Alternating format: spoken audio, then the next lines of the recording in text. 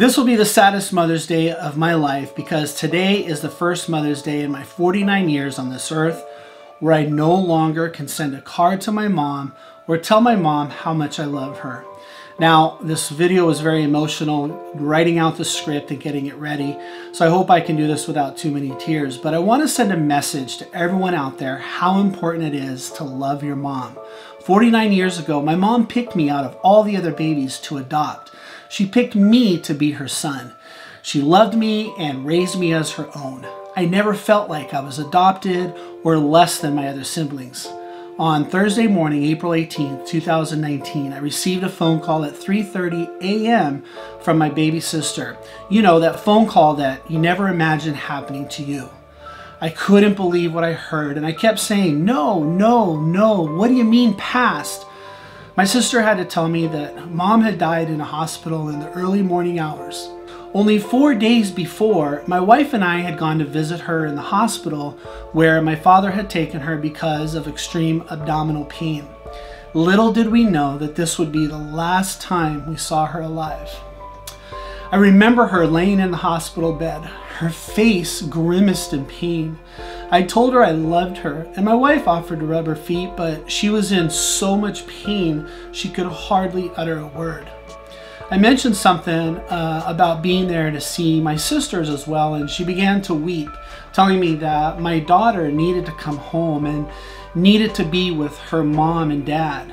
You see, my daughter needed intervention about a year ago to save her life and has been at a faith based teen girl program called 180 Ministry for Teen Girls, where they empower young teen girls to grow spiritually and rescue them from a path that they are going down so that they can thrive in life.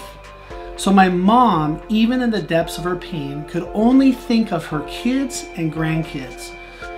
We finally had to leave uh, because she had her pain meds, and she told us she loved us as we kissed her and said goodbye so she could get some rest. Mom was a fighter, but we had no idea that in a few days she would be gone.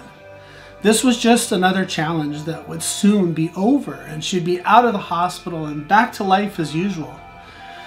She had recently undergone hip surgery and was just telling everyone about all of her travel plans to visit grandkids and extended family. Then, Two weeks later, in a memorial service celebrating her life and legacy with over 200 people whom she had touched in some way, here I was walking down the church aisle as a pallbearer carrying her casket that held her lifeless body. Fighting back the tears, all I could think about was how much I would miss my mom and how much love my daughter, just one of nine grandkids, would miss out on with her passing. There would be no more dancing, no more gifts, no more silly grandma jokes, and no more hugs that only a mother can give.